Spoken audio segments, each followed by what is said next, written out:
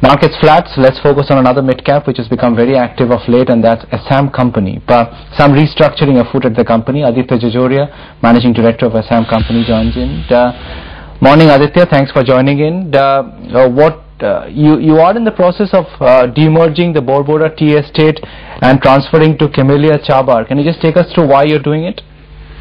Uh, then in past we have mentioned and the board took a prudent view that we should look at three to different different sort of businesses.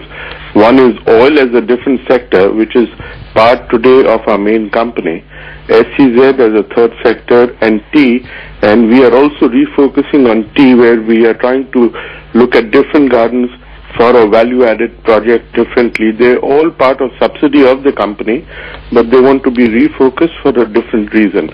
So, hence, the company took a decision to uh, to do the demerger so that the exact share valuation comes in and they can be more focused towards these business.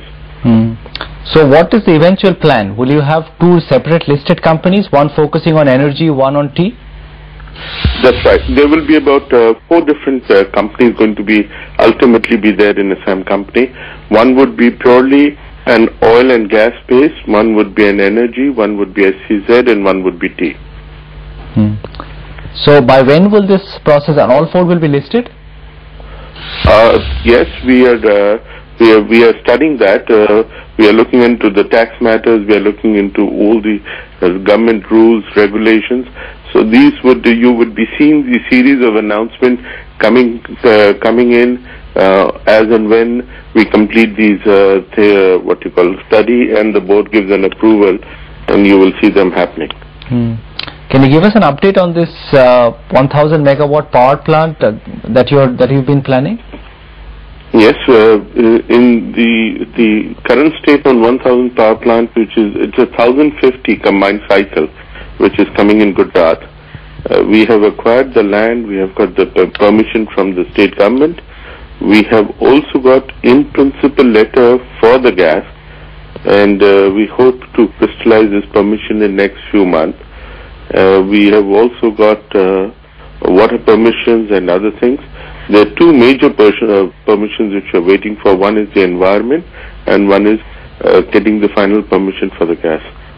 So this is the position. We are fairly in a, uh, in a strong and we are uh, we are in lead of time that we hope in another four to six months everything should come through. For the current quarter, sales were flat, but uh, what is your outlook for the tea business now that it will be traded uh, or quite soon will be traded in a standalone form? Uh, how's the outlook for that looking in terms of prices?